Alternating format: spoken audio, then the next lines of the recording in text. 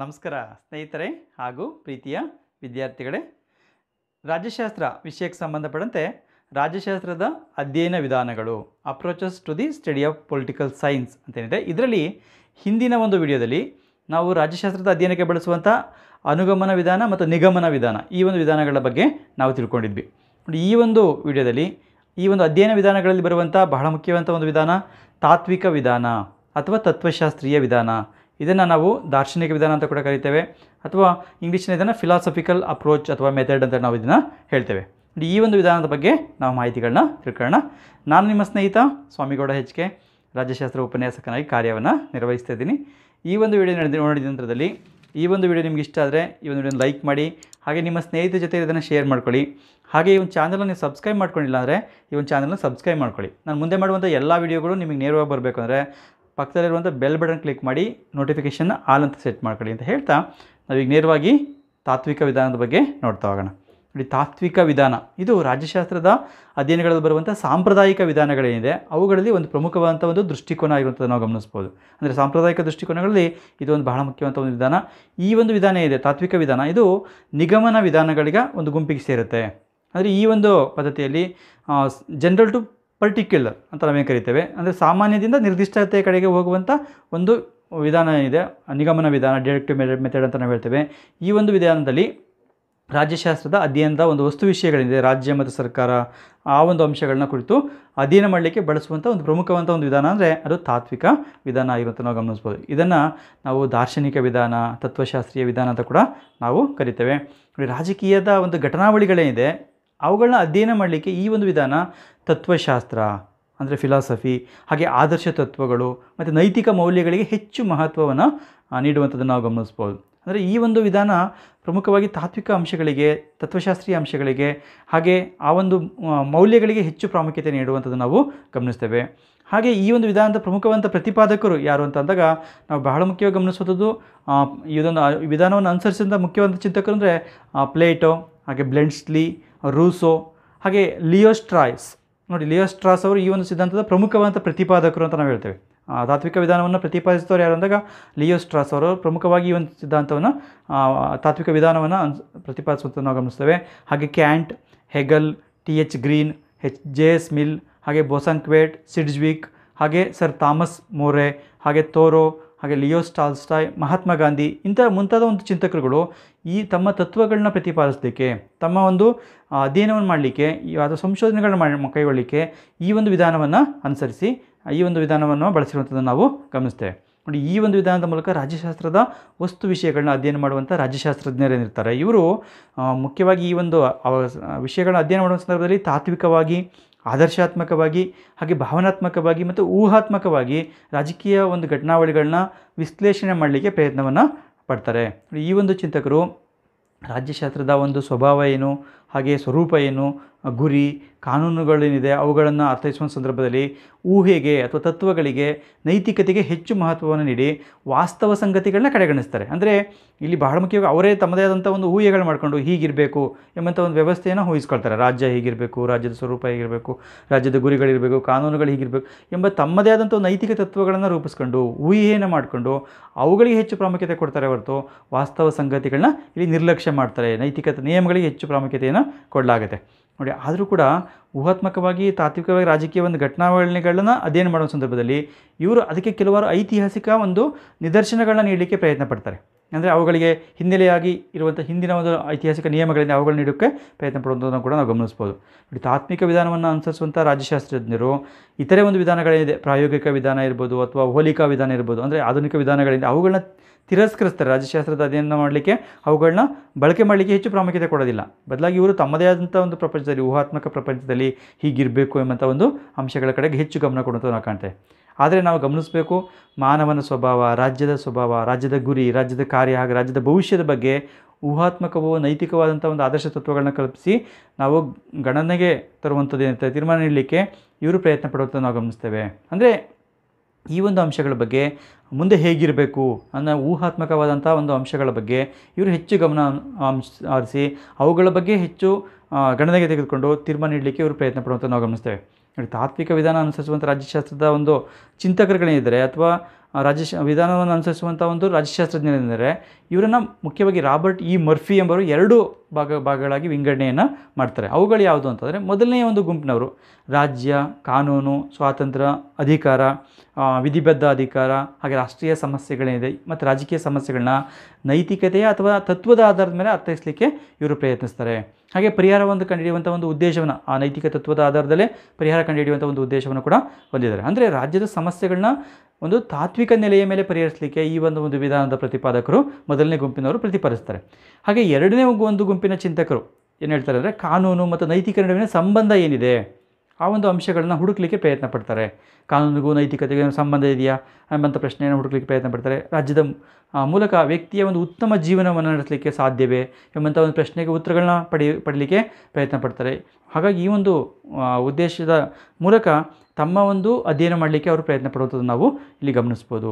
ಈ ಸಂಶೋಧಕರು ತತ್ವಶಾಸ್ತ್ರದ ಒಂದು ತತ್ವಗಳಾದಂಥ ಅಧ್ಯಾತ್ಮಶಾಸ್ತ್ರ ಆದರ್ಶವಾದ ತತ್ ಒಂದು ತರ್ಕಶಾಸ್ತ್ರ ನೀತಿಶಾಸ್ತ್ರದ ಪರಿಜ್ಞಾನವನ್ನು ಹೊಂದಿರ್ತಾರೆ. ಹೊಂದಿ ಆ ಮೂಲಕ ಅವುಗಳನ್ನು ಈ ಒಂದು ಅಧ್ಯಯನದಲ್ಲಿ ಬಳಸಲಿಕ್ಕೆ ಪ್ರಯತ್ನ ಪಡೋದನ್ನು ನಾವು ಕಾಣ್ತೇವೆ. ನೋಡಿ, ಈ ಒಂದು ವಿಧಾನ ಆಧುನಿಕ ಕಾಲದಲ್ಲಿ ಹೆಚ್ಚು ಮಹತ್ವ ಪಡ್ಕೊಂಡಿದೆ. ಏಕೆಂದರೆ ನಾವು ತತ್ವಗಳನ್ನ ಬಿಟ್ಟು ಹೋಗಲಿಕ್ಕೆ ಸಾಧ್ಯ ಆಗೋದಿಲ್ಲ.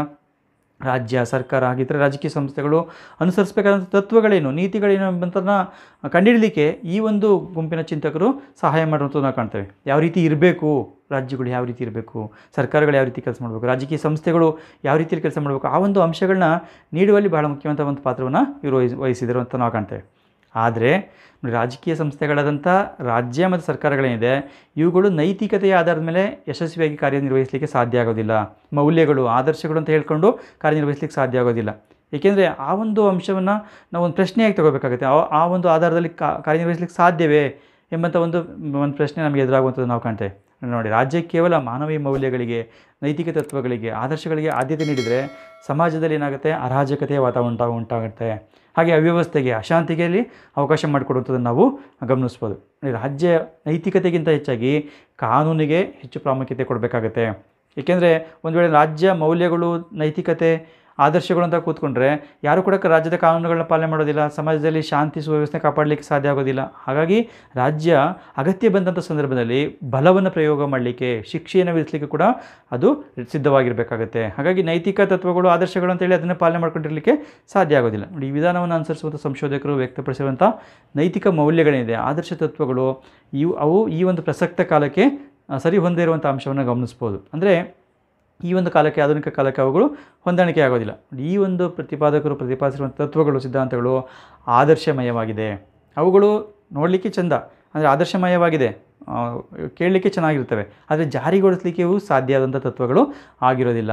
ನೋಡಿ ಉದಾಹರಣೆಗೆ ನಾವು ನೋಡೋದಾದರೆ ಆ, ಪ್ಲೇಟೋರವರು ತಮ್ಮ ಒಂದು ರಿಪಬ್ಲಿಕ್ ಗ್ರಂಥದಲ್ಲಿ ಪ್ರತಿಪಾದಿಸಿರುವಂಥ ಥಿಯರಿ ಆಫ್ ಐಡಿಯಲ್ ಸ್ಟೇಟ್ ಈ ಒಂದು ರಾಜ್ಯದಲ್ಲಿ ತಮ್ಮದೇ ಆದಂಥ ಒಂದು ಆದರ್ಶ ರಾಜ್ಯ ಪರಿಕಲ್ಪನೆಯನ್ನು ಪ್ರತಿಪಾದಿಸ್ತಾರೆ. ಆದರೆ ಆದರ್ಶ ರಾಜ್ಯವನ್ನು ಜಾರಿಗೊಳಿಸ್ಲಿಕ್ಕೆ ಸಾಧ್ಯನಾ?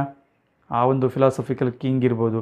ಅವರೆಲ್ಲ ಕೂಡ ಜಾರಿ ತರಲಿಕ್ಕೆ ಸಾಧ್ಯನಾ ಅನ್ನೋ ಒಂದು ಅಂಶವನ್ನು ಗಮನಿಸಿದಾಗ ಇದು ಕೇವಲ ಒಂದು ಊಹಾತ್ಮಕವಾದಂಥ ಒಂದು ಪರಿಕಲ್ಪನೆ. ಹಾಗೆ ಸರ್ ಥಾಮಸ್ ಮೋರೆ ಅವರು ಪ್ರತಿಪಾದಿಸಿರುವಂಥ ಊಟೋಪಿಯಾ ಆ ಒಂದು, ಆ ಅಂಶ ಏನಿದೆ ಅದನ್ನು ಕೂಡ ಜಾರಿಗೆ ತರಲಿಕ್ಕೆ ಸಾಧ್ಯ ಆಗೋದಿಲ್ಲ. ಆಗ ಮಹಾತ್ಮ ಗಾಂಧೀಜಿಯವರು ಪ್ರತಿಪಾದಿಸಿರುವಂಥ ರಾಮರಾಜ್ಯದ ಪರಿಕಲ್ಪನೆ. ರಾಮರಾಜ್ಯವನ್ನು ನಾವು ಊಹಿಸ್ಕೋಬೋದು. ಹೀಗಿರಬೇಕು, ಒಂದು ರಾಜ್ಯ ಅಂದರೆ ಹೀಗಿರಬೇಕು, ರಾಮರಾಜ್ಯ ಎಂಬುದು ಹೀಗಿರಬೇಕು ಅಂತ ಊಹಿಸ್ಕೋಬೋದು. ಆದರೆ ಅದನ್ನು ಜಾರಿಗೆ ತರಲಿಕ್ಕೆ ಸಾಧ್ಯನಾ? ಗಾಂಧೀಜಿಯವರು ಹೇಳ್ತಾರೆ, ಮಧ್ಯರಾತ್ರಿಯಲ್ಲಿ ಒಂದು ಹನ್ನೆರಡು ಗಂಟೆಯಲ್ಲಿ ಒಂದು ಹೆಣ್ಣು ಮಗಳನ್ನ ನಡ್ಕೊಂಡು ಹೋದ್ರೆ ಅಂಥ ಒಂದು ಸಂದರ್ಭಗಳು ಬರುವಂಥ ಸಾಧ್ಯತೆಗಳಿದೆಯಾ ಅಂತ ಊಹೆ ಮಾಡ್ಕೊಂಡ ಸಂದರ್ಭದಲ್ಲಿ ಹಲವಾರು ಒಂದು ರಾಮರಾಜ್ಯದ ಪರಿಕಲ್ಪನೆಯಲ್ಲಿ ಬರುವಂಥ ಆ ಒಂದು ರಾಜ್ಯ ಹೇಗಿರಬೇಕು ಅವೊಂದು ಅಂಶಗಳೇನಿದೆ, ಅವನ್ನೆಲ್ಲವನ್ನು ಕೂಡ ಜಾರಿಗೆ ತರಲಿಕ್ಕೆ ಸಾಧ್ಯ ಆಗದಿರುವಂಥದ್ದು ನಾವು ಗಮನಿಸ್ಬೋದು. ನೋಡಿ, ಈ ರೀತಿಯಾಗಿ ಆ ಒಂದು ಕೆಲವು ಊಹಾತ್ಮಕವಾದಂಥ ಒಂದು ಅಂಶಗಳಾಗಿರ್ತವೆ ಹೊರತು ಅವುಗಳನ್ನ ಜಾರಿಗೆ ತರಲಿಕ್ಕೆ ಸಾಧ್ಯ ಆಗೋದಿಲ್ಲ. ಹಾಗೆ ತಾತ್ವಿಕ ಒಂದು ತತ್ವಗಳು ಪುರಾತನ ರಾಜಕೀಯ ಪದ್ಧತಿಗಳಿಗೆ ಆ, ಒಂದು ಸಂದರ್ಭಕ್ಕೆ ಇವುಗಳು ಸೂಕ್ತವಾಗಿತ್ತು. ಅಂದರೆ ಇಂದಿನ ಒಂದು ಸಮಾಜಗಳೇನಿದ್ವು ಅಲ್ಲಿ ದೇವರು ನಂಬಿಕೆಗಳು ಹಾಗೆ ಮೌಲ್ಯಗಳಿಗೆ ಹೆಚ್ಚು ಆದ್ಯತೆ ಕೊಡ್ತಿದ್ದಂಥ ಜನರು ಬದುಕ್ತಿದ್ದಂಥ ಒಂದು ಕಾಲ ಏನಿತ್ತು ಆ ಒಂದು ಕಾಲಕ್ಕೆ ಈ ಒಂದು ತಾತ್ವಿಕ ವಿಧಾನ ಸೂಕ್ತವಾಗಿತ್ತು. ಆಗಿನ ಕಾಲದ ಹೆಚ್ಚು ಒಂದು ಧಾರ್ಮಿಕ ನಂಬಿಕೆಗಳಿಗೆ ಒಂದು ಪ್ರದೇ, ಮುಖ್ಯವಾಗಿ ಆದ್ಯತೆಯನ್ನು ಕೊಡ್ತಾಯಿದ್ರು ಜನರು. ನೈತಿಕತೆಯನ್ನು ಹೆಚ್ಚಾಗಿ ಗೌರವಿಸಿ ಸಮಾಜದ ಒಂದು ಒಂದು ನಿಯಮಗಳಿಗೆ, ರೂಢಿ ಸಂಪ್ರದಾಯಗಳಿಗೆ ಅನುಗುಣವಾಗಿ ನಡ್ಕೊಳ್ಳುವಂಥ ಒಂದು ವ್ಯವಸ್ಥೆ ಇತ್ತು. ಆ ಒಂದು ವ್ಯವಸ್ಥೆಯಲ್ಲಿ ಈ ಒಂದು ಪದ್ಧತಿಗಳನ್ನ ಅಳವಡಿಸ್ಕೊಳ್ಳಿಕ್ಕೆ ಸಾಧ್ಯ ಹೊರತು. ಆದರೆ ಆಧುನಿಕ ಜಗತ್ತು ತುಂಬ ತಾಂತ್ರಿಕ ಒಂದು ಸ್ವಭಾವದಿಂದ ಕೂಡಿರುವಂಥ ನಾವು ಕಾಣ್ತೇವೆ. ನೋಡಿ, ಇಲ್ಲಿ ಅನೈತಿಕ ನೈತಿಕ ಮೌಲ್ಯಗಳಿಗೆ ಹೆಚ್ಚು ಪ್ರಾಶಸ್ತ್ಯ ಇಲ್ಲದಂಥ ನಾವು ಗಮನಿಸಲಿಕ್ಕೆ ಸಾಧ್ಯ. ಹಾಗಾಗಿ ಈ ಒಂದು ವರ್ಗದ ಒಂದು ಪ್ರತಿಪಾದಕರು ವ್ಯಕ್ತಪಡಿಸಿರುವಂಥ ಒಂದು ಅಂಶಗಳೇನಿದೆ ನೈತಿಕ ಮೌಲ್ಯಗಳು. ಅವುಗಳು ಈ ಆಧುನಿಕ ಕಾಲಕ್ಕೆ ಸರಿ ಹೊಂದಲಿಕ್ಕೆ ಸಾಧ್ಯ ಆಗೋದಿಲ್ಲ. ಏಕೆಂದರೆ ಆಧುನಿಕ ಜಗತ್ತು ಹಲವಾರು ಒಂದು ಗಂಭೀರವಂಥ ಸಂಕೀರ್ಣ ಸಮಸ್ಯೆಗಳಿಂದ ಬಳಲುತ್ತಿರುವಂಥ ನಾವು ಕಾಣ್ತೇವೆ. ಹಲವಾರು ಜಟಿಲ ಒಂದು ಸಮಸ್ಯೆಗಳನ್ನ ಇದು ಎದುರಿಸ್ತಿರುವಂಥ ನಾವು ಕಾಣ್ತೇವೆ. ಹಾಗಾಗಿ ಇಲ್ಲಿ ನೈತಿಕ ತತ್ವಗಳು ಸಹಾಯಕ್ಕೆ ಬರೋದಿಲ್ಲ ಎಂಬ ಅಂಶವನ್ನು ಕಾಣ್ತೇವೆ. ಹಾಗಾಗಿನೇ ಜೆ ಎಸ್ ಮಿಲ್ ಅವರು ಒಂದು ಮಾತು ಹೇಳ್ತಾರೆ. ಏನಂತಂದರೆ ಈ ಮಾದರಿಯ ಒಂದು ನಿಗಮನ ಪದ್ಧತಿಯನ್ನು ಅವರು ತಿರಸ್ಕರಿಸ್ತಾರೆ. ಇದು ಕೇವಲ ಕಲ್ಪನೆಗೆ, ಆದರ್ಶಗಳಿಗೆ, ಮಾನವೀಯ ಮೌಲ್ಯಗಳಿಗೆ, ನೈತಿಕತೆಗೆ, ತತ್ವಜ್ಞಾನಕ್ಕೆ ಮಹತ್ವ ನೀಡುತ್ತದೆ ಅಂಥೇಳಿ ಅವರು ಇದನ್ನು ಟೀಕಿಸಿರುವಂಥದ್ದು ನಾವು ಗಮನಿಸ್ಬೋದು. ನೋಡಿ, ಈ ಒಂದು ಪದ್ಧತಿ ಏನಿದೆ? ಈ ಒಂದು ಪದ್ಧತಿ ಕೆಲವು ಗುಣಗಳನ್ನ ಹೊಂದಿರುವಂಥದ್ದು ನಾವು ಗಮನಿಸ್ಬೋದು. ಅಂದರೆ ಇದು ತನ್ನದೇ ಆದಂಥ ಒಂದು ದೋಷಗಳನ್ನ ಹೊಂದಿದೆ. ಮುಂದೆ ನಾನು ಅದನ್ನು ಹೇಳ್ತೇನೆ. ಕೆಲವು ಗುಣಗಳನ್ನ ಹೊಂದಿರುವಂಥದ್ದು ನಾವು ಗಮನಿಸ್ತೇವೆ. ನೋಡಿ, ತಾತ್ವಿಕ ವಿಧಾನ ಹೊಂದಿರುವಂಥ ಒಂದು ಗುಣಗಳೇನಿದೆ, ಅವುಗಳನ್ನ ನಾವು ಈ ರೀತಿ ನೋಡಲಿಕ್ಕೆ ಸಾಧ್ಯ ಆಗುತ್ತೆ. ಮೊದಲನೆಯದಾಗಿ ಈ ಒಂದು ವಿಧಾನದಿಂದ ರಾಜ್ಯಶಾಸ್ತ್ರಕ್ಕೆ ಅಪಾರವಾದಂಥ ಒಂದು ತತ್ವಗಳು, ಸಿದ್ಧಾಂತಗಳು, ತತ್ವ ವಿಚಾರಗಳು, ಮೌಲ್ಯಗಳನ್ನ ಹೊಂದಲಿಕ್ಕೆ ಸಾಧ್ಯ ಆಗಿದೆ. ಹಾಗೆ ಎರಡನೇ ಒಂದು ಅಂಶ ಅಂದರೆ ತಾತ್ವಿಕ ವಿಧಾನ ಮಾನವೀಯ ಮೌಲ್ಯಗಳು, ನೈತಿಕತೆಗೆ, ಆದರ್ಶಗಳು ಮತ್ತು ತತ್ವಗಳಿಗೆ ಹೆಚ್ಚು ಆದ್ಯತೆಯನ್ನು ನೀಡುವಂಥದ್ದು ನಾವು ಗಮನಿಸ್ತೇವೆ. ಅವುಗಳು ಬಹಳ ಮುಖ್ಯ ಸಮಾಜಕ್ಕೆ. ಹಾಗೆ ಈ ಒಂದು ಮೌಲ್ಯ, ನೈತಿಕತೆ ತತ್ವಗಳ ಆಧಾರದ ಮೇಲೆ ರಾಜ್ಯ, ಸರ್ಕಾರ ಮುಂತಾದ ರಾಜಕೀಯ ಸಂಸ್ಥೆಗಳು ಆದರ್ಶ ತತ್ವಗಳನ್ನ ಹೊಂದಲಿಕ್ಕೆ ಈ ಒಂದು ಪದ್ಧತಿ ಸಹಾಯಕ ಆಗುತ್ತೆ. ಅದೇ ಇದು ಮೌಲ್ಯಗಳು ರಾಜಕೀಯದಿಂದ ಹೊರಗಿಡಲಿಕ್ಕೆ ಸಾಧ್ಯ ಇಲ್ಲ. ಏಕೆಂದರೆ ನಾವು ರಾಜಕೀಯವನ್ನು ಅಧ್ಯಯನ ಮಾಡಬೇಕಾದ್ರೆ ಮೌಲ್ಯಗಳನ್ನ ಬಿಟ್ಟು ಅಧ್ಯಯನ ಮಾಡಲಿಕ್ಕೆ ಸಾಧ್ಯ ಆಗೋದಿಲ್ಲ. ನೋಡಿ ಹೊಸ ಒಂದು ವರ್ತನವಾದ ಏನು ಬರ್ತದೆ? ನೀವು ಒಂದು ವಾದ, ವರ್ತನವಾದ ಏನು ಬರ್ತದೆ? ಬಿಹೇವಿಯರಲಿಸಮ್ ಅಂತ ಬರುತ್ತೆ. ಆ ಸಂದರ್ಭದಲ್ಲಿ ಬಂದಾಗ ಅವರು ಹೆಚ್ಚು ಮೌಲ್ಯಗಳಿಗೆ ಆದ್ಯತೆ ಕೊಡುವಂಥ ಪ್ರಯತ್ನವನ್ನು ಮಾಡ್ತಾರೆ. ಹಾಗಾಗಿ ತಾತ್ವಿಕ ವಿಧಾನದಲ್ಲೂ ಕೂಡ ಇದನ್ನು ನಾವು ಗಮನಿಸ್ತೇವೆ. ಆ ಒಂದು ಅಂಶವನ್ನು ಕಾಣಬೇಕಾಗತ್ತೆ. ಹಾಗೆ ಐದನೇದಾಗಿ ಒಂದು ಸಿದ್ಧಾಂತವನ್ನು ಒಳ್ಳೆಯದು ಅಥವಾ ಕೆಟ್ಟದ್ದು ಎಂಬುದರ ಆಧಾರದ ಮೇಲೆ ಮೌಲ್ಯ ದೃಷ್ಟಿಕೋನದಿಂದ ಪರಿಗಣಿಸಲಿಕ್ಕೆ ಇದು ನೆರವು ನೀಡುವಂಥ ನಾವು ಕಾಣ್ತೇವೆ. ಹೀಗೆ ಅದು ಹಲವಾರು ಅನುಕೂಲಗಳನ್ನು ಹೊಂದಿದೆ. ಹಾಗೆ ಇದು ಕೆಲವು ದೋಷಗಳನ್ನ ಕೂಡ ಹೊಂದಿರುವಂಥದ್ದನ್ನು ನಾವು ಗಮನಿಸಲಿಕ್ಕೆ ಸಾಧ್ಯ ಆಗುತ್ತೆ. ಅವುಗಳು ಯಾವುದು ಅಂತ ನೋಡುವಾಗ ತಾತ್ವಿಕ ವಿಧಾನ ಹೊಂದಿರುವಂಥ ಒಂದು ದೋಷಗಳು ಯಾವುದು ಅಂದಾಗ ಮೊದಲನೇದಾಗಿ ತಾತ್ವಿಕ ವಿಧಾನವನ್ನು ಅನುಸರಿಸುವಂಥ ತತ್ವಜ್ಞಾನಿಗಳು ಅಸಂಖ್ಯಾತ ತತ್ವಗಳನ್ನ, ಆದರ್ಶಗಳನ್ನ ನೀಡಿದರೆ ಹೊರತು ಅವುಗಳು ವಾಸ್ತವಿಕವಾದಂಥವುಗಳಲ್ಲ ಎಂದು ಅದನ್ನು ಟೀಕೆ ಮಾಡಿರುವಂಥ ನಾವು ಗಮನಿಸ್ತೇವೆ. ಹಾಗೆ ಎರಡನೇದಾಗಿ, ನೋಡಿ, ಇವು ಸಾರ್ವತ್ರಿಕವಾದಿ ಒಪ್ಪಬಹುದಾದಂಥ ಒಂದು ತೀರ್ಮಾನಕ್ಕೆ ಬರಲಿಕ್ಕೆ ಇವರು ವಿಫಲರಾಗಿದ್ದಾರೆ. ಈ ಒಂದು ವಿಧಾನವನ್ನು ಪ್ರತಿಪಾದಿಸುವಂಥ ಚಿಂತಕರು ಸಾರ್ವತ್ರಿಕವಾಗಿ ಎಲ್ಲರೂ ಒಪ್ಕೊಳ್ಳುವಂಥ ಒಂದು ತೀರ್ಮಾನಕ್ಕೆ ಬರುವಲ್ಲಿ ವಿಫಲರಾಗಿರುತ್ತೆ ನಾವು ಗಮನಿಸ್ತೇವೆ. ಹಾಗೆ ಮೂರನೇದಾಗಿ ಪ್ರಾಯೋಗಿಕತೆ ಮತ್ತು ಹೋಲಿಕೆಗಳಿಗೆ ಇದು ಮಹತ್ವ ನೀಡೋದಿಲ್ಲ ಈ ವಿಧಾನ. ಪ್ರಾಯೋಗಿಕತೆ ಪ್ರಯೋಗ ಮಾಡಿ ಒಂದು ಸತ್ಯ ಸತ್ಯಶೋಧನೆ ಮಾಡಲಿಕ್ಕೆ ಆಗಲಿ ಅಥವಾ ಹೋಲಿಕೆಯನ್ನು ಮಾಡಲಿಕ್ಕಾಗಲಿ ಈ ಒಂದು ವಿಧಾನ ಆದ್ಯತೆ ನೀಡಿದಿರುತ್ತೆ ನಾವು ಗಮನಿಸ್ತೇವೆ. ಹಾಗೆ ನಾಲ್ಕನೇದಾಗಿ ಈ ವಿಧಾನದ ತತ್ವ, ಆದರ್ಶಗಳು, ಸಿದ್ಧಾಂತಗಳು ಕೇವಲ ಊಹಾತ್ಮಕವಾದಂಥವುಗಳು, ಆದರ್ಶವಾದವುಗಳೇ ಹೊರತು ಇವುಗಳನ್ನ ಆಚರಣೆಗೆ ತರಲಿಕ್ಕೆ ಸಾಧ್ಯ ಇಲ್ಲ, ಜಾರಿಗೊಳಿಸಲಿಕ್ಕೆ ಸಾಧ್ಯವಾಗೋದಿಲ್ಲ ಹಾಗೆ ಐದನೇದಾಗಿ ಇದು ಸಣ್ಣ ಸಣ್ಣ ಸಮಸ್ಯೆಗಳನ್ನ ಕಡೆಗಣಿಸುತ್ತೆ. ಹಾಗೆ ಕೇವಲ ಆದರ್ಶ ರಾಜ್ಯ ಅಂತ ಒಂದು ದೊಡ್ಡ ಒಂದು ಪರಿಕಲ್ಪನೆ ಇಟ್ಕೊಂಡು ದೊಡ್ಡ ಸಮಸ್ಯೆಗಳ ಬಗ್ಗೆ ಗಮನ ಹರಿಸಿ ಅವುಗಳಿಗೆ ಪರಿಹಾರ ಸೂಚಿಸಿದೆ ಹೊರತು ಸಣ್ಣ ಸಮಸ್ಯೆಗಳನ್ನ ಇದು ಕಡೆಗಣಿಸುವಂತ ನಾವು ಗಮನಿಸ್ತೇವೆ.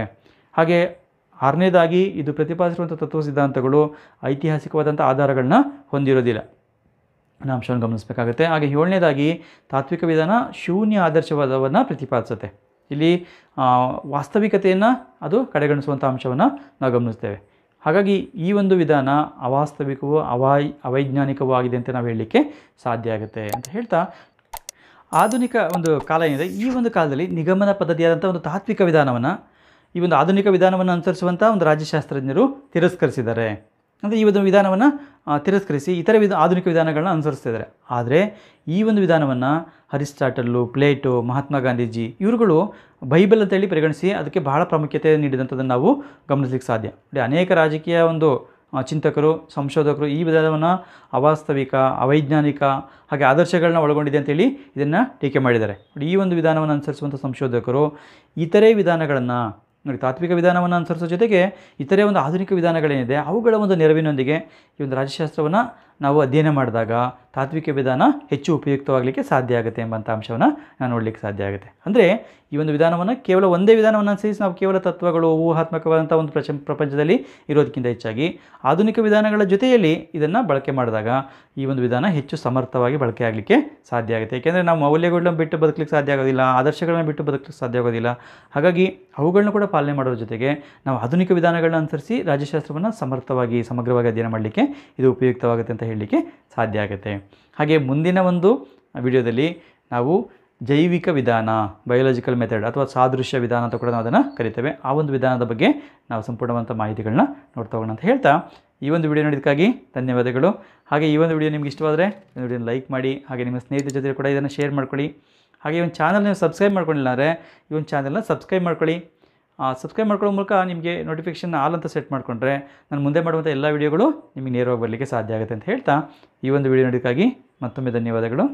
ನಮಸ್ಕಾರ.